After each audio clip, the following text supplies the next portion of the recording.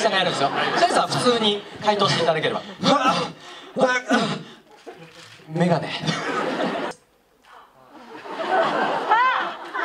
最初だから恥ずかしくなっちゃうかな。さあどうぞどうぞどうぞ。これカット？あおい。あ母させる。母させるこれおい。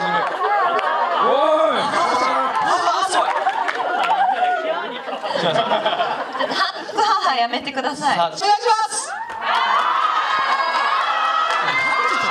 もうついつい趣旨変わってるから趣旨変わってるからかっこいどついついつい完全についですよそれい。いですかどうぞ。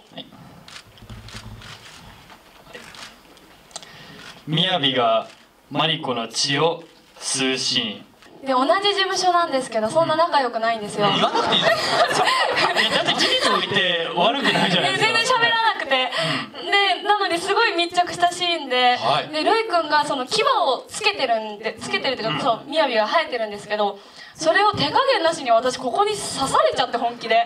本当に血が本当にそれが痛くてすごくハーハーしました私は。僕も気をつけながらやってましたよちゃんとすっごい本当ですよ刺さってたんだけど。いやだからあれはもう事故ですよ事故。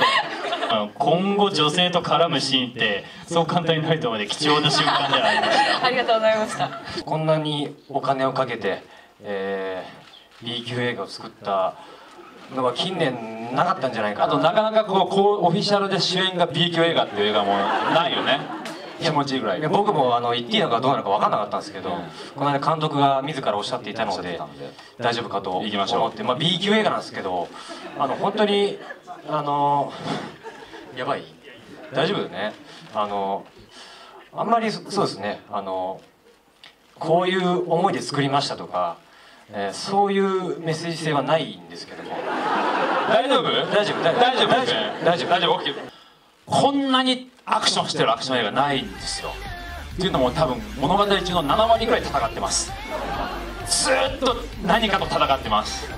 それをずっと戦ってるのはこの人なのであの山形で1ヶ月ぐらいずっと撮影し続けてたんですけど、まあ、僕らシュニア以外はみんなこう東京と往復でたまに行くとですねもう明らかにシュニアの顔が日に日に焦げてきててこう体はごつくなっていくんですけど顔がもうどっからどう見ても彼岸島にいる人にしか見えなくなってきてそれぐらい彼があのもう自分を追い込んで、えー作り上げたこのアクションシーン満載の映画が絶対あのフィルムに映ってると思いますのでそれをまず楽しんでいるので僕からもちょっと一緒に、まあ、ここであの素晴らしいという拍手を心で送りたいと思います。